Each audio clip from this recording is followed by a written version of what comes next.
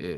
So like you were saying, like you got a whole lot of versatility. You work with people from like inner city to um like the suburbs and everything. So whoa, what's like the favorite your favorite stuff? Like what's the best stuff that you've made in your opinion? uh, my favorite songs would be my songs like for me personally for my own listening pleasure. I like I like the song that for me like, be like the most like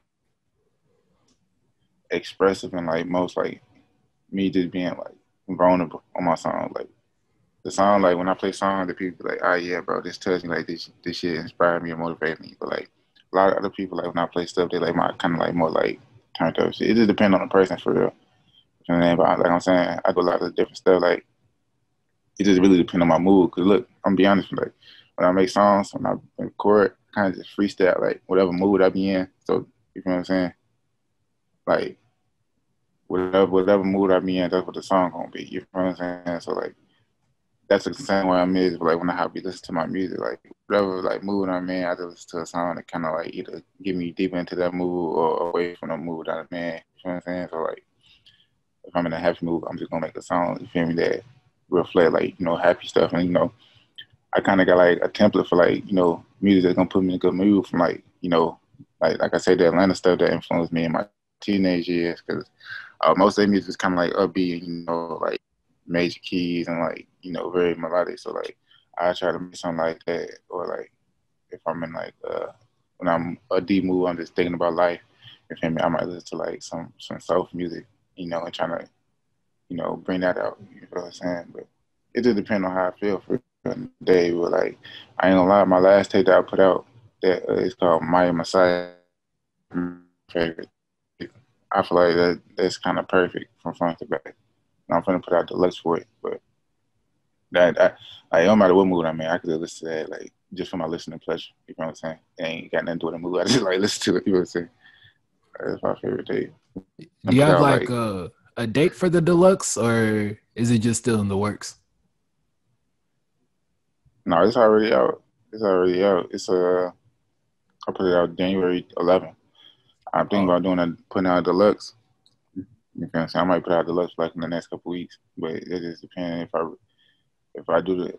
I got like the initial version of the, of the tape was like 13 songs, but I cut them down to nine. But if I end up putting these features on the songs, then I do the deluxe. If not, I just I don't know. Because there's really just a part one. And I'm gonna do a part two to it, probably like three parts. So I might either you know, Lux or keep the song for the next part. You know what I'm saying? Okay. Whenever that'll be. I don't know when. Like to me, my personal favorite one of your songs is Manifesto. So, whoa, what happened? What made you make that song? Cause I would, I was at work and I was just listening to that. I was like, wait a minute, yo, this one crazy. Let's go. That's like a sleeper. I know that song is sleeper, bro. It ain't one. It ain't like a song. You from Texas though, so yeah. Look though, I got family in Texas though, so look.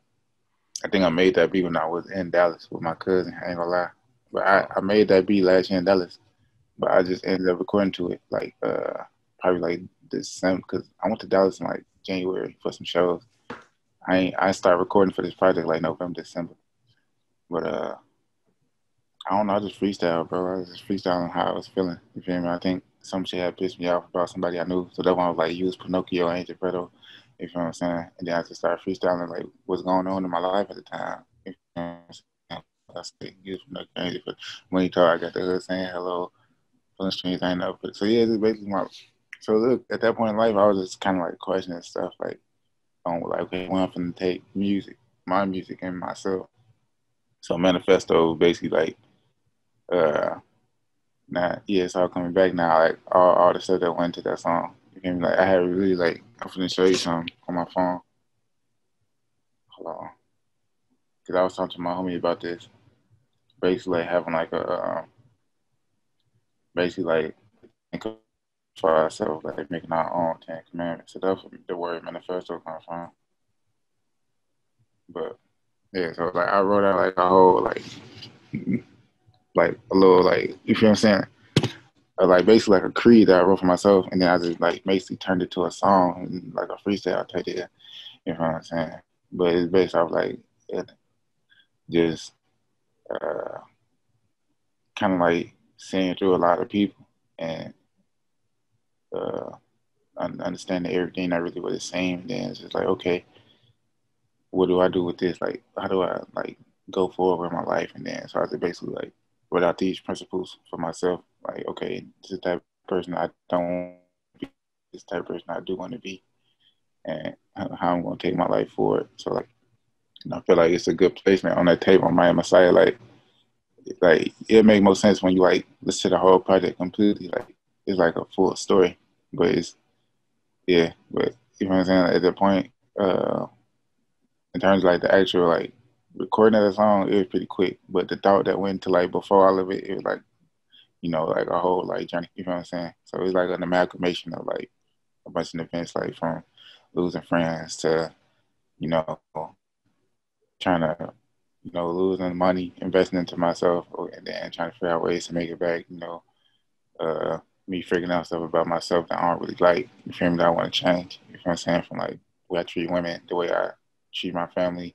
You feel me? The way I treat myself. Like you feel me? Like you know, a lot of shit. So, you feel me? That would that would the word like manifesto really mean. Manifesto is just like a, a set of principles that you uh that you that you set set in place just to like okay, this is what we're gonna head to.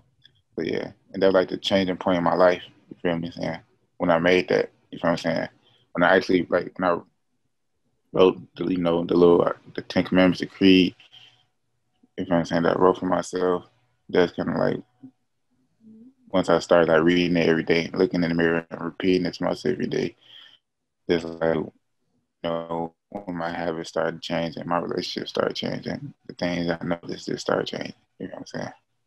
So that's like the effects of the song. But so I just like put all of that into a song. You know what I'm saying? Like basically, yeah. But it was a freestyle song. It wasn't like I really like wrote and thought about the song. I just kind of freestyled it. But the events that led up to it is kind of deep. You know what I'm saying? Yeah, I feel you. Cause like I've I've been really big into that like lately too, and like trying to uh set up like priorities and keep in line with those. So I guess that's why that song really hit me. Cause like what you talking about right now, that's what I've really been on and really trying to be preaching to my homies and everything about how you gotta have goals and you got to wake up with a purpose every day